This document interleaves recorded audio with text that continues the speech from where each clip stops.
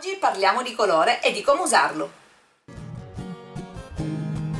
Ma che grigia sta giornata che non vuol finire mai. Carta, forbice e matita, coloriamola un po' noi. Corri, porta i tuoi colori, c'è già ombretta sul canale. Guarda quanti sono gli amici che si incontrano su Arte per te.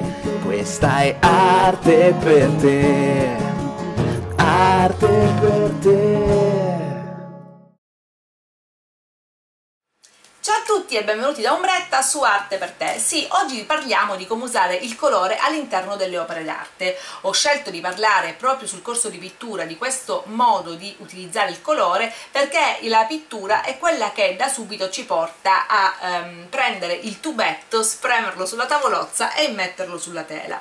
Molto spesso lo si fa questo in maniera del tutto casuale, senza dare un ordine mentale a quella che vogliamo sia il susseguirsi e la composizione cromatica di un'opera d'arte. Sbagliatissimo perché il colore parla della nostra opera come e più del soggetto disegnato e soprattutto come e più della composizione che abbiamo disegnato. Quindi dobbiamo stare attenti alla scelta del colore. Un quadro anche ben costruito con dei colori incongruenti appare debole, smorzato, svilito, molto spesso ingenuo perché un'opera viene detta arte e un'opera viene detta semplicemente un quadro, un dipinto, perché uno storico dell'arte, un critico critico d'arte quando si accosta alla visione di un'opera d'arte cerca determinate caratteristiche tecniche erudite che facciano di quell'opera un qualcosa che sia al di sopra della media no?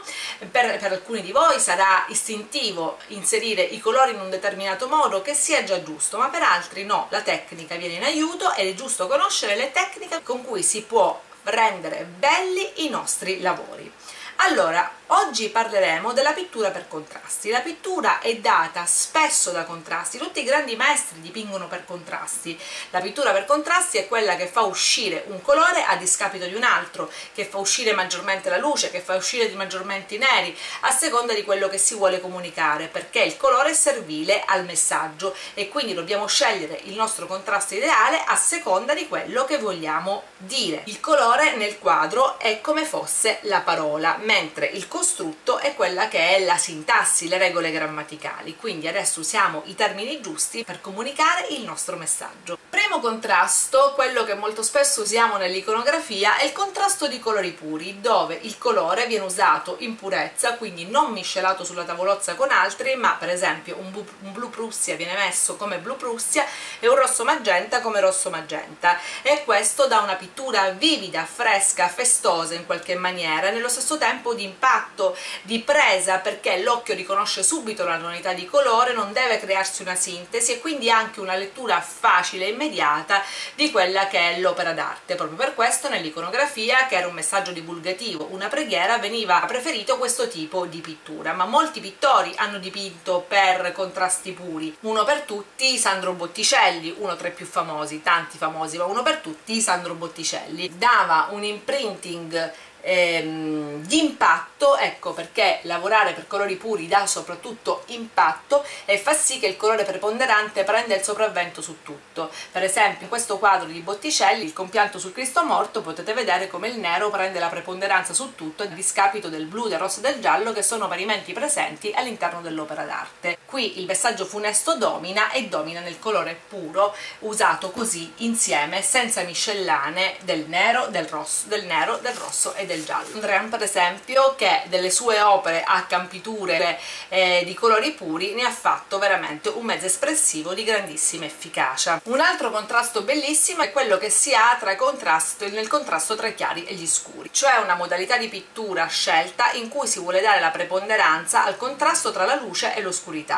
scegliendo una gamma di colori che facciano esaltare ora lo scuro, ora la luce, eh, usata tantissimo nella incisione, nella xilografia ma anche nella pittura dove appunto la luce prende vigore proprio eh, spinta in alto dagli scuri. Quindi i chiari e gli scuri quelli di cui vi parlo sempre per esempio nel disegno a graffite. Questo dà vita a un tipo di composizione molto drammatica molto spinta in cui eh, non ci sono molte mezze misure ma dove per esercitare una forza pregnante nell'opera d'arte devono esserci le chiavi più alte quindi i chiari più estesi e gli scuri più profondi. Con questo non intendo dire che la gamma di colori deve risolversi tra il bianco e il nero ma può andare da quello che è un bianco, una vana e tutti i colori delle terre e i neutri fino ad arrivare fino agli scuri. E quindi far interagire questi colori per dorare, miscelare di oro i colori terrosi fino ad arrivare ai chiari giallissimi e bianchi. Un modo molto elegante per esplicare quella che è la drammaticità di un soggetto. Un altro contrasto che rende vivace il soggetto invece è il contrasto tra colori caldi e colori freddi. Eh, di questo ehm, contrasto tra colori caldi e colori freddi ne è piena la storia dell'arte ma uno dei grandi pittori che lo fa proprio è sicuramente Auguste Renoir che tra colori caldi e colori freddi accostati per esempio negli incarnati dà quella freschezza e quella vividicità ai propri protagonisti che sono solo suoi colori caldi e colori freddi insieme hanno la caratteristica di attrarre molto l'attenzione con un occhio vivido e fresco e quindi lanciano un messaggio che sia eh, di facile fruizione, un messaggio che sia sprintoso, lasciatemi passare il termine, e un messaggio che tenga comunque lo spettatore sempre in, eh, continuo, in continua attenzione e non faccia calare appunto quello che è il tono dell'attenzione sull'opera stessa. Se invece il messaggio che vogliamo dare è un messaggio di solidità, di staticità, di calma, un messaggio di tranquillità, di pacatezza, sicuramente il metodo del contrasto ideale è il contrasto dei complementari. Dal contrasto dei complementari sicuramente si, avrà, si darà vita ad un equilibrio pressoché statico, quindi delle forme pesanti, delle forme presenti, non dinamiche come abbiamo visto prima, ma assolutamente invece statiche. Eh, dipende tutto molto da quello che si vuole dipingere, un qualcosa di rarefatto, un qualcosa di eterno, un qualcosa di fermo, ecco che il contrasto tra colori complementari è quello che fa per voi. Direttamente dalla teoria del colore di Goethe è il contrasto per simultaneità dove alla presenza di un colore, per esempio un colore presente come il giallo, ne dico uno tanto per dire, automaticamente l'occhio in assenza del complementare lo produca e eh, lo faccia presente sulla tela, sull'opera d'arte pur non essendoci. Questo è un genere di pitture, un genere di rapporto cromatico che rende il fruitore protagonista della composizione dell'opera e quindi fa sì che il compositore venga catalizzato all'interno dell'opera stessa. È una sorta di sfida con chi viene a guardare il quadro, quasi come se il cervello di chi lo volesse vedere volesse anche completarne quella manchevolezza che in qualche maniera c'è. Manca il colore e il fruitore lo compone. Sicuramente questo passaggio catalizzerà l'attenzione in maniera veramente veramente importante. Di conseguenza molto spesso viene usata per catalizzare l'attenzione all'interno di ambienti che quasi si vuol far vivere a eh, chi guarda il quadro. È un tipo di pittura molto interessante ma anche molto difficile da portare avanti. Il contrasto di qualità invece è un contrasto che si basa sulla saturazione dei colori, quindi a colori squillanti si fanno corrispondere colori un po' offuscati, un po' sbiediti e questo per, dare, per fare in modo che alcune parti del dipinto siano in primo piano rispetto ad altre. Una sorta di focalizzazione, di zoom su quello che si vuole comunicare dando l'atmosfera d'insieme ma tralasciando alcuni particolari. Naturalmente questo tipo di pittura lo si può utilizzare quando si vuole appunto focalizzare su un particolare e allora non si andrà direttamente a sfocare il soggetto ma si userà anche una campitura tonale tale da rendere più vivido, quindi più puro il colore che è protagonista, quindi che andremo a rapporre sul soggetto della nostra opera e più blando, più eh, sfocato, più offuscato diciamo così, il colore che invece vogliamo funga da contorno, da armonizzatore ma non da protagonista dell'opera d'arte. Per ultimo, eh, quello che secondo me è il contrasto più importante che dovrebbe esserci all'interno di tutte le opere e che è veramente veramente qualitativamente evidente è il contrasto di quantità che deriva direttamente dall'utilizzo dello spettro eh, cromatico. All'interno dello spettro cromatico non tutti i colori hanno la stessa quantità d'essere. L'arancio avrà una quantità differente rispetto al blu, il verde e il rosso invece hanno la stessa quantità di presenza, di conseguenza questi colori devono essere immessi all'interno dell'opera d'arte rispettando queste quantità, questi rapporti quantitativi, quindi facendo una scala mh, mm, proporzionale diremo che la proporzione del giallo è data da una parte di giallo e 3 di violetto, la proporzione dell'arancio è data da una parte di arancio e 2 di blu, la proporzione del rosso e del verde invece sono equiparate, quindi a una parte di rosso deve corrispondere sempre una parte di verde. Costruendo così l'opera d'arte si avrà un'armonia di sintesi che dia quello che è un senso di ehm, armonia all'interno del proprio quadro. Per quanto riguarda l'armonia dei colori voglio qui suggerirvi, perché ci sono, eh, oltre, alla oltre alla bibliografia che vi metto qua sotto nel box informazioni, ho trovato delle nozioni interessanti anche sul corso di disegno. Oramai eh, lo sto raccogliendo tutto, quindi man mano che vado a trovare qualcosa di attinente con le nostre lezioni ve lo vado segnalando. E nel numero 22 anche in qualche numero precedente c'è la teoria dei colori newtoniana, così come la sappiamo con primari, secondari e via discorrendo, mentre sul numero 22 di, eh, questo, ehm, di questa collana troverete appunto l'armonia dei colori di Mengs, che era un pittore, il quale invece eh, come teoria diceva che un quadro per essere armonico deve avere tutti i colori all'interno dell'opera, tutti i colori che nascono quindi dallo spettro, tutti i colori che nascono da uno spettro